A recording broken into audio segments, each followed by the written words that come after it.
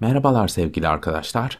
Benim babam Ülker'de plesiyer olarak uzun yıllar çalışmıştı. Ben de yazları babama eşlik ediyordum muavin olarak ve her hafta cuma günleri Selçuk'a gidiyorduk. Bölgemiz Selçuk'tu. Bakkalları, marketleri dolaşıp Ülker ürünleri satıyorduk. Daha sonra yıllar sonra ben de tıbbi mümessil oldum ve işim gereği Selçuk'a gitmekteyim her hafta. Gitmişken Selçuk'u kısaca size böyle bir video ile tanıtmak istedim. Ayrıca kameram için almış olduğum Fiutech G6 Max görüntü sabitleyici gimbal'ı deneme fırsatı bulmuş oldum ilk kez. Ayrıca Selçuk hakkında size bilgi vermek isterim arkadaşlar bu videomda. Selçuk'un eski adı Ayasuluk'muş. Aydınoğulları Beyliği burayı ele geçirdikten sonra Ayasuluk ismini vermiş. Osmanlı topraklarına da 1426 yılında katılmış. 1914 yılına gelinince bu Ayasuluk ismini değiştiriyorlar ve Selçuk ismini veriyorlar. 1957 yılında şu anda bulunduğu İzmir'e dahil edilmiş. Dünyanın en büyük açık hava müzelerinden birisi Selçuk, antik çağın en önemli yerleşim yerlerinden biriymiş zamanında. Tarihi yapıların büyük bir bölümü Selçuk'ta halen ayaktadır. Efes öğren yeri Türk ve dünya turizmi açısından çok önemli bir merkezdir. Efes her yıl yaklaşık olarak 2 milyon ziyaretçi tarafından gezilmektedir. Efes Müzesi sahip olduğu ve sergilediği sadece yerel eserlerle Avrupa'nın en önemli ve en zengin müzelerinden birisidir. İlk çağın en ünlü şehirlerinden biri olan Efes, Küçük Menderes Nehri'nin sularını boşalttığı körfezin yakınında kurulmuştur. Tarıma elverişli toprakları, doğuya açılan büyük bir ticaret yolunun başında oluşu, gerek antik çağda gerekse de Hristiyanlık döneminde çok önemli bir dini merkez oluşu, tarihe büyük bir kent olarak geçmesini sağlamıştır Efes'in.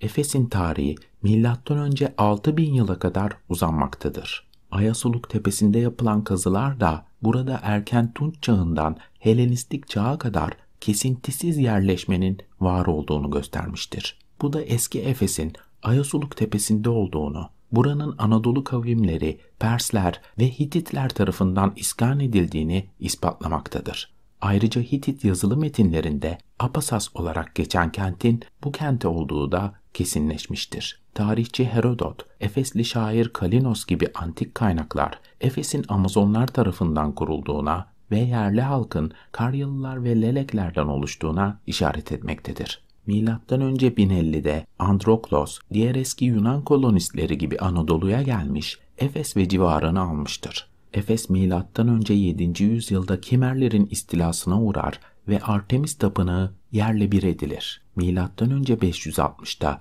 kent Lidyalılarca Artemision çevresine taşınır. Milattan önce 386'da akdedilen Kral Barışı'nın sonunda Efes, Büyük İskender'in gelişine dek sürecek olan Pers egemenliği altına girer. Bugün gezilen Efes, büyük ölçüde Büyük İskender'in generallerinden Lysimakos tarafından önce 300'lerde kurulmuştur. Efes Bizans çağında tekrar yer değiştirmiş ve ilk kurulduğu Ayasuluk tepesine geri gelmiştir. Efes, ilim ve sanat dünyasında da adını duyurmuş ünlü kişiler yetiştirmiştir. Bunlar arasında rüya tabircisi Artemidorus, şair Kalinos ve Hipponax, filozof Heraklitos, ressam Parasyus, gramer bilgini Zinodotos sayılabilir. Ben biraz Heraklitos'tan bahsetmek istiyorum. Heraklitos, nesnelerin kendisinden gelip kendisine gittiklerini, ilk maddenin ateş olduğunu söylemiştir. Ona göre dünyamız sonsuz canlı ateşten değişmeyle meydana gelmiştir ve bir vakit gelecek sonunda tümden ateşe girecektir. Böylece akış yeniden başlayacaktır bütünün kendisi olan bu evreni ne bir tanrı ne de bir insan oluşturmuştur. O sürekli belli ölçülere göre yanan, belli ölçülere göre sönen, ezeli ve ebedi ateştir. Bu büyük filozofun akış öğretisini ifade eden sözleri şunlardır. Aynı ırmaklara girenlerin üzerinden farklı sular akar.